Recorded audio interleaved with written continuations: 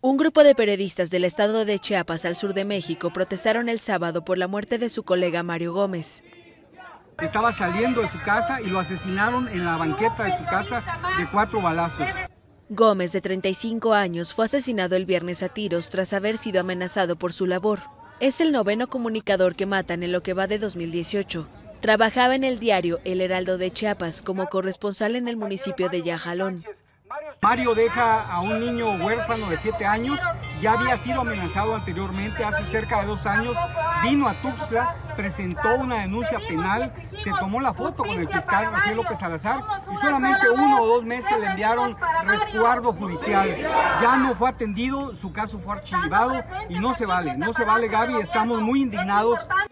En junio de 2016, Gómez fue amenazado de muerte tras publicar una investigación de corrupción política, según reportó la Organización Defensora de Periodistas, artículo 19, mientras que fuentes del Heraldo dijeron que expresó intimidaciones recientemente.